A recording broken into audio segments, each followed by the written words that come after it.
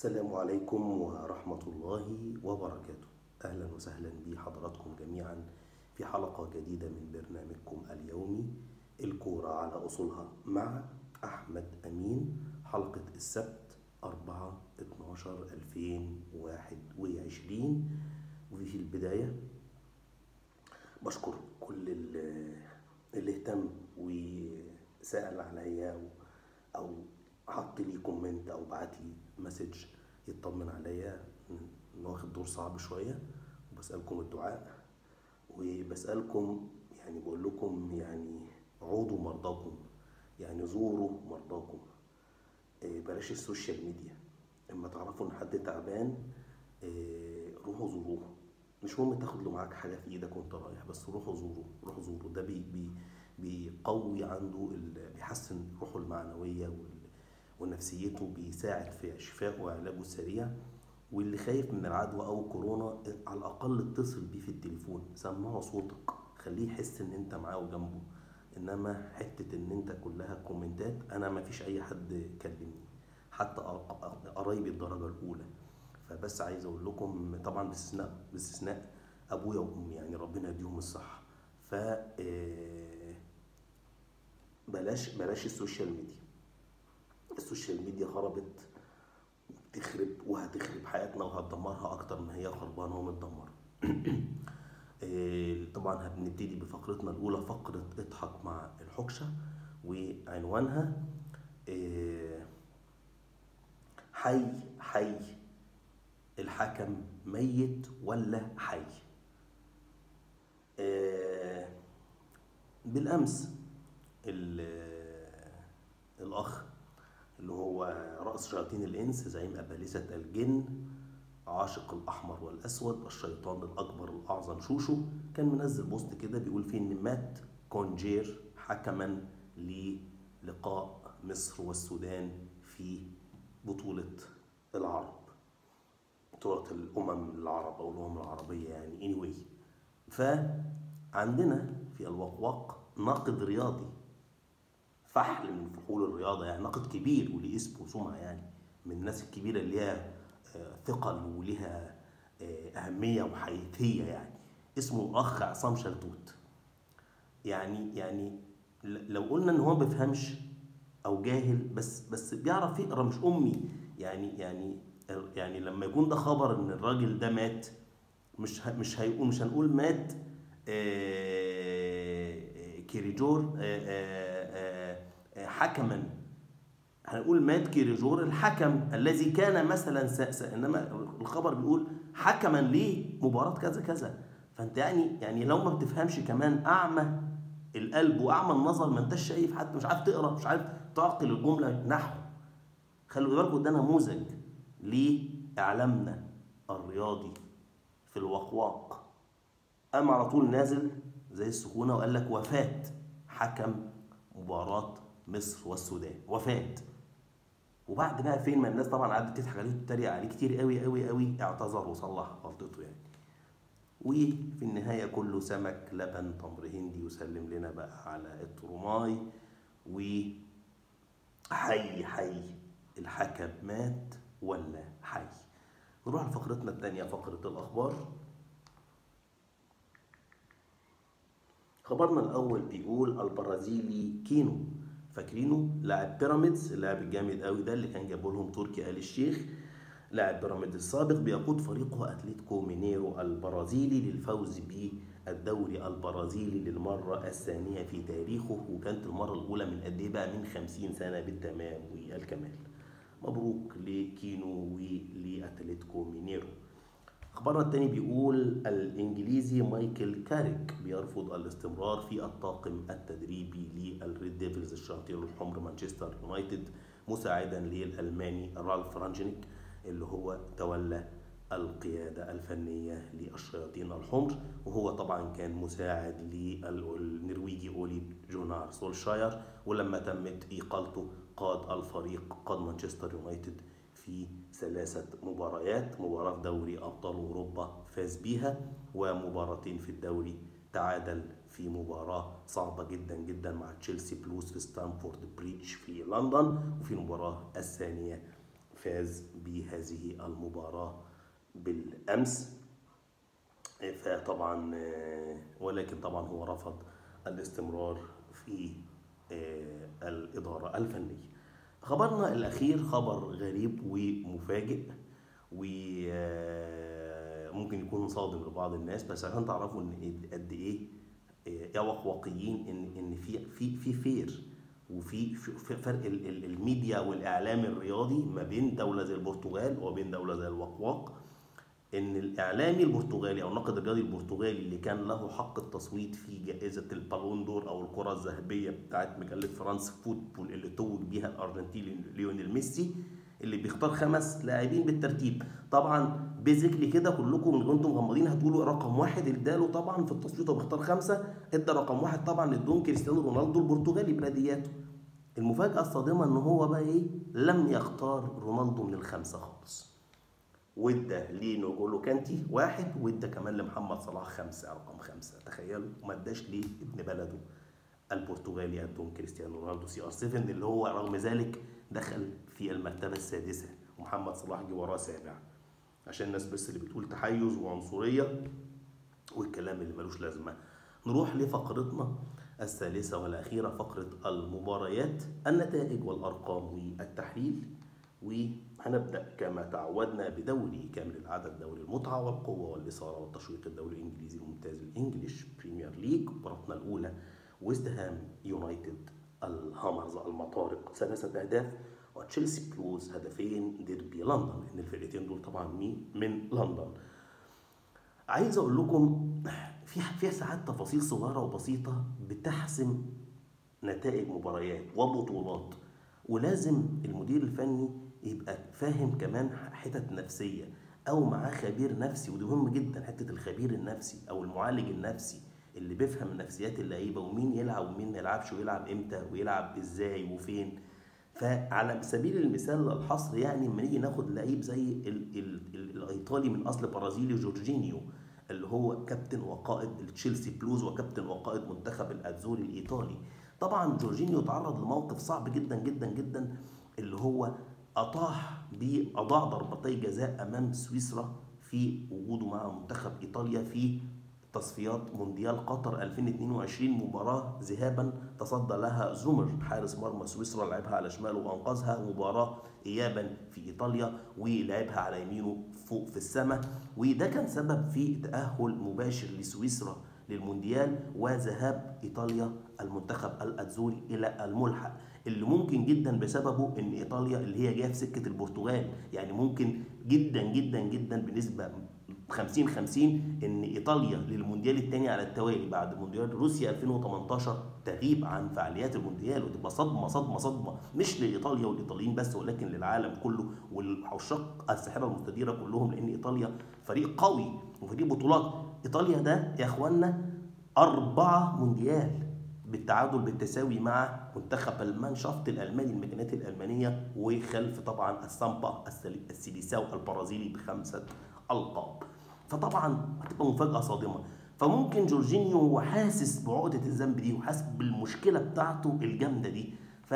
فكمان ممكن مأثر عليه برضه منذ أيام قليلة إن هو كان من أقوى المرشحين إن هو يتوج بالبالون دور لسه قايلين عليها لأن هو هي بتتاخد بالبطولات والإنجازات وأي إنجازات بعد تتويجه مع تشيلسي Blues ب UEFA Champions League دوري أبطال أوروبا وبالسوبر الأوروبي وتتويجه مع المنتخب الازوري الإيطالي اللي هو ممكن يودع كأس العالم ما يوصلش كأس عالم بأمم أوروبا بال UEFA Cup برضه هذا الموسم. طبعا في وجود فطاحل وتغلب على طبعا إنجلترا في النهائي في ملعب في في استاد ويمبلي في قلب لندن في إنجلترا. ممكن دي برضه نفسيا تعبان لذلك الراجل بيعمل حاجات مش طبيعية. أقربها كان لسه في المباراه الأولى لسه بنتكلم عليها اللي هي مباراه المان يونايتد اللي كانت في ملعبهم ملعب تشيلسي بلوز في ستامفورد ستامفورد بريدج في لندن. الخطأ الفادح اللي عمله وتسبب في هدف طبعا في الشوط الثاني في ظل ما تشيلسي يعني يعني مبهدل المان يونايتد ومحاصره هجمات رهيبة والجون مسألة وقت. في وقت زي ده بيقوم انت داخل فيه الجون ملبسهولك جورجينيو فبتبتدي المعنويات تنزل والحماس يقل وتبتدي انت لسه عايز تبني من جديد عشان تتعادل الأول وده اللي حصل. وبعد كده ممكن ممكن انك تحرز الفوز وده اللي ما حصلش. وما لحقش يتمكن من الفوز وتعادل بصعوبة من ضربة جزاء. كل دي معنويات عمالة تتراكم وتستمر أيضا في مباراة اليوم لأن برضه مباراة اليوم نفس القصة. مباراة كانت تعتبر سهلة ومحسومة لتشيلسي وفقا للأداء. نزل برضه تشيلسي فارن بصراحة ويست هام ومحاصره ومفيش وجود خالص هجومي لويست هام. وهجمات على طول متواصلة واستحواذ وسيطرة وكرة جميلة وتقدم بيه يترفع تياجو سيلفا البرازيل مدافع البرازيلي بدماغه يرشقها قذيفة في الأرض وباندا وبتخش على شمال فابيانسكي البولندي حارس ويست هام يونايتد. وفي ظل كل السيطرة دي والأداء الجمالي وعدم وجود ويست هام يونايتد خالص برضه نفس غلطة جورجينيو كورة غريبة جدا جدا جاله الكورة لوحده مرتاح. وفي كذا لاعب ضاغط عليه وضاغطين على حارس المرمى بتاعه اللي هو طبعا ادوار ميندي السنغالي من أحسن حراس المرمى في العالم في هذه الأيام ويرجع له الكورة في ظل هذا الضغط. ممكن يطلعها out يمين out شمال يطلعها corner يشوطها لقدام إنما يرجعها له في مسافة ضيقة جدا بينهم وبين بعض. وإدوارد ميندي يعني يعني يصلح الغلط بغلط أكبر إن هو يحاول يحتفظ بالكورة. مش عايز يعني برضه يبان إن هو إيه ضيع ضيع منه الكورة مش عارف إيه وبتاع. فيضغط عليه نوبل اللي هو كان من نجوم المباراه لاعب ويست هام ويحاول برضه كان ممكن رغم الضغط ده برضه يطلعها corner out فيقدر استمر حاول هو يرقصه بغرابة شديدة جدا فياخدها منه ويروح للجنب يبعد برضه مندي الغباء أو ساعة القدر بيعمل بصل تهور جدا بيعمل tackling عليه ويجيب رجله ويحتسب بلينتي غريب جدا جدا كان سبب في عودة ويست هام بهدف سجله الأرجنتيني. لانزيني من ضربة جزاء حطها على يمين إدوارد ميندي اللي راح في الشمال. تمام؟ قبل نهاية الشوط الأول يرجع البلوز تاني للتقدم بهدف ولا أروع. جملة هجمة counter attack روعة. لوفتس تشيك قطع الكورة لعبها لنجمنا المغربي حكيم زياش اللي علقها over حلو جدا جدا لميسون ماونت الانجليزي اللي خدها direct تعالى عملها من جوه منطقة الجزاء برضه منطقة الجزاء بيمينه على شمال فابيانيسكي في الدقيقة بتاعته. جون رائع رائع رائع. تقدم البلوز بهدفين لهدف وفي الشوط الثاني يستمر تفوق وسيادة تشيلسي بلوز دي المباراة. ولكن أيضا خطأ دفاعي غريب جدا برضه. برضه الكرة متناقلة تتقطع على حدود منطقة الجزاء تتباصى باصة 2 3 توصل لنوبل. اللي هو تسبب في ضربة الجزاء ويلعبها بيمينه على يمين إدوارد. ميندي من على حدود منطقة الجزاء بجون التعادل؟ دي حاجة غريبة جدا جدا جدا.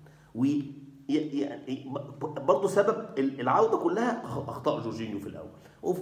ويحاول تشيلسي وطبعا يجي له انتكاسة في قبل نهاية الشوط الأول برضه دوت يصاب هافرتز الألماني هافرتز طبعا بكرة غريبة برضه ما كانش في داعي للإصابة فيها ويشترك لوكاكو الغير جاهز بعد رجوعه من الاصابه في بداية الشوط الثاني وما عملش حاجة تقريبا. وتشيلسي طول الشوط الثاني بيحاول بعد الهدف اللي جه في أول الشوط الثاني هدف التعادل يحاول إن هو يحرز هدف الانتصار. ويضيع فرص بالجملة في ظل سوء حظ وفي ظل تألق فابيانيسكي ودفاع ويست هام اللي كان بيلعب بشراسة وبقوة وبروح غير عادية جرينتا غير عادية وبيدافع بالعشر لعيبة. وفي نهاية المباراة كورة غريبة وعجيبة.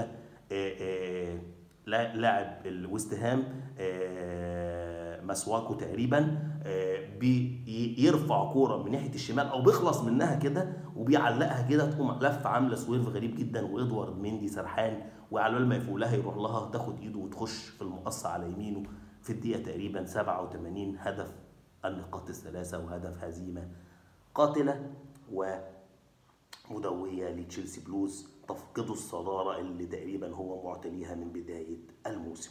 وهتحدفه للمركز السادس. نروح لمباراتنا اللي بعد كده.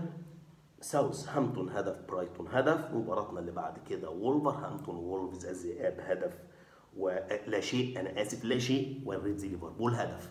مباراة برضو أيضا برضو بصوا بقى اللاعب اللي التفصيله اللي بي اللي بيخسر فريقه واللاعب اللي يكسب فريقه المباراة دي برضو تقريبا 90 دقيقة نفس السيناريو. هجوم كاسح وضاغط من الريدز ليفربول و counter attack من وولفرهامبتون معتمدين على سرعات راؤول خيمينيز المكسيكي راؤول خيمينيز والإسباني أداما تراوري اللي هو اللعيب ال body building الجامد قوي الصاروخ ده.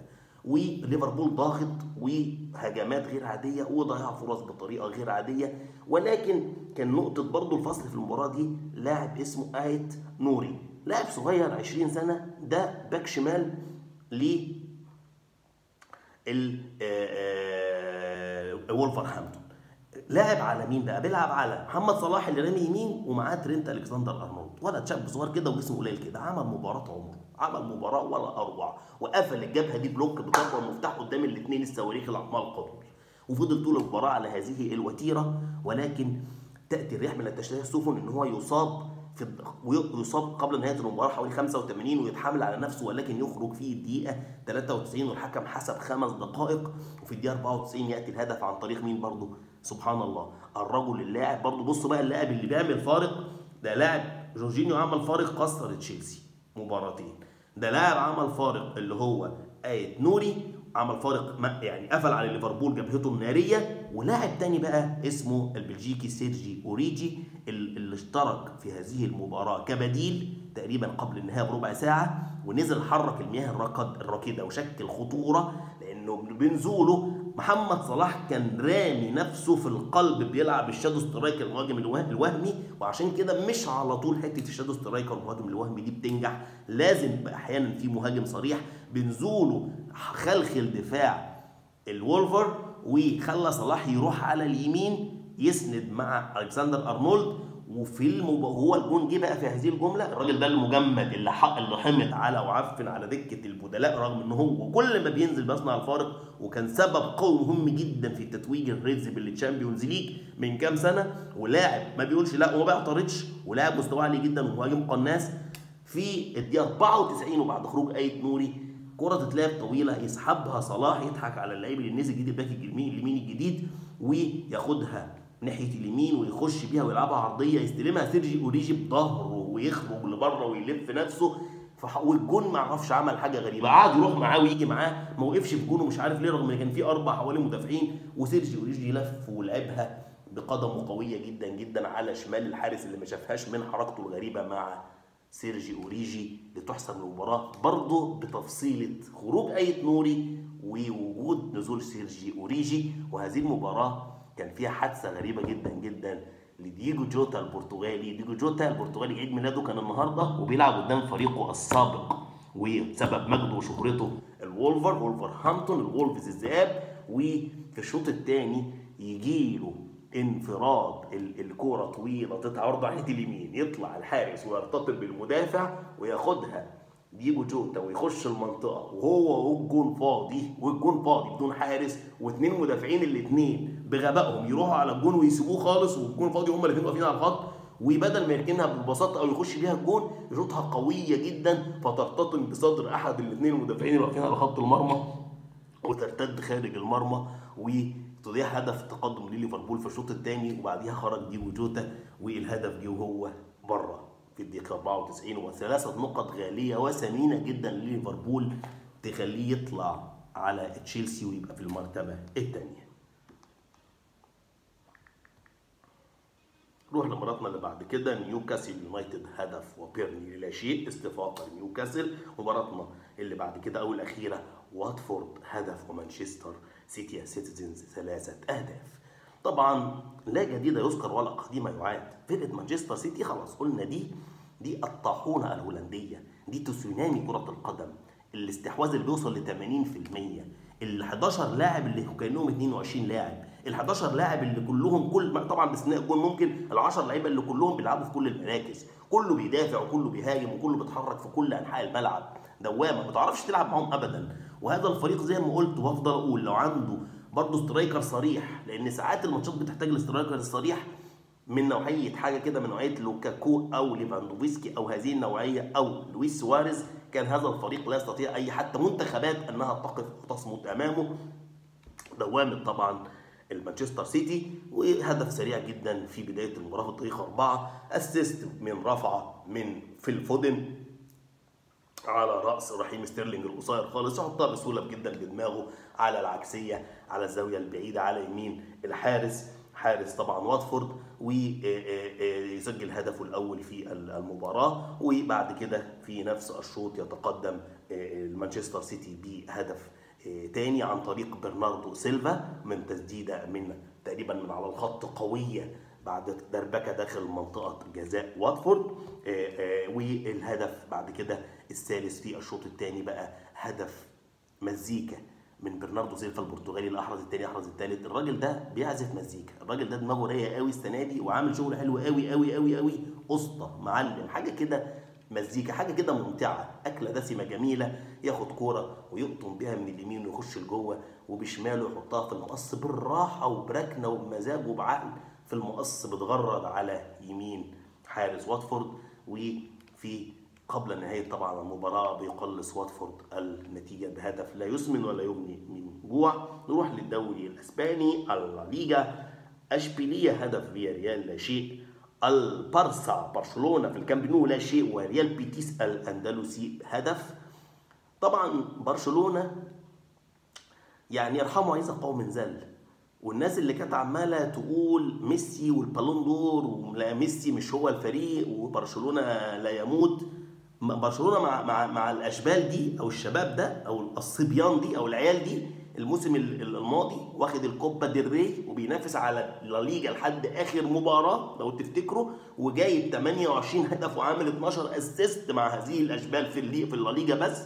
إنما لعيبة يعني قدامها سنين على ما كرويا والمصائب تأتي فرادى أيضا يصاب جا- جافي يصاب جافي اللي هو الشاب الصغير اللي عامل الفارق وينزل مكانه ريكي بويج في الشوط الأول. وال 90 دقيقة على نفس الوتيره انها برضه استحواذ اللي اللي بيأكلش عيش وفرص تضيع بالجملة رعونه في ال finish ما فيش القناص اللي اللي يخلص. والواحد كان تفائل خير بتشافي هرنانديز اللي قال لك أنا يعني مش مش هستعتمد تماما على إيه إيه كوتينيو البرازيلي ولا لوك ديونج الهولندي ولكن بدأ ب كوتينيو غريبة جدا لاعب منتهي تماما وليس ليس أمل في رجوعه أنا بقولها على مسؤوليتي الخاصة على ضمانتي الشخصية وأيضا لوك ديونج اللي اشركه في الشوط الثاني بعد ما خربت مالطا عشان يجيب التعادل والهدف بتاع آه، آه، ريال بيتيس جه من counter attack تقريبا في الدقيقة 75 من قبل نص الملعب الكرة بتتلعب للاعب بينفرد من قبل نص الملعب مغطي عشان ما فيش offside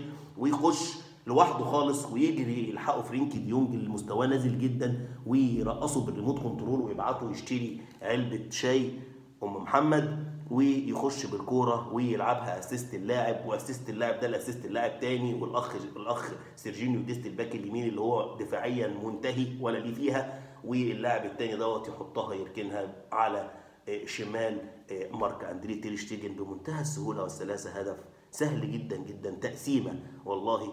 والأخ ممفيس ديباي الهولندي مش عارف يرقص واحد على واحد خالص ولا عارف يعمل أي حاجة. وبعد الهدف تيجي للمغربي اللي هو عبد الصمد الزلزولي ده آه، آه، كورة برضه تلعب له بالعرض وقطع القايم البعيد ولوحده خالص ومفيش حد يحطها بسهولة يحطها بره القايم اليمين لحارس ريال بيتيس. وتردي أداء رهيب والبارسا يعني حتى أعتقد لن آه، يحقق مركز يسمح له بالتواجد في ال Champions League بال UEFA Champions League الموسم القادم بالإضافة إن هو غالبا هي هي هيودع ال Champions League هذا الموسم وينتقل إلى ال UEFA Europa League الدوري الأوروبي.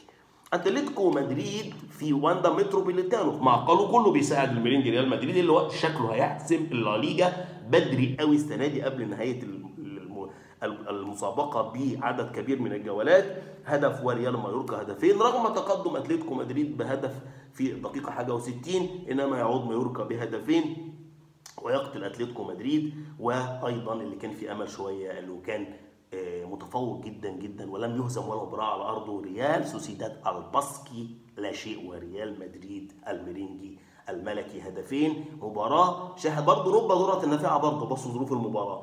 أن كريم بنزيما نجم ريال مدريد والمنتخب الفرنسي يصاب في الدقيقة 18 واشترك مجدا منه الصربي لوكا يوفيتش وظن الناس طبعا إن هجوم ريال مدريد راح وخلاص ما فيش أمل في المباراة. ولكن الشوط الثاني لوكا يوفيتش البديل اللي جه من الدار للنار برضه واللي حمد برضه وعفن نط زي برضه ما قلنا على سيرجي أوريجي على دكة البدلاء يعمل assist الهدف الأول لفينيسيوس جونيور.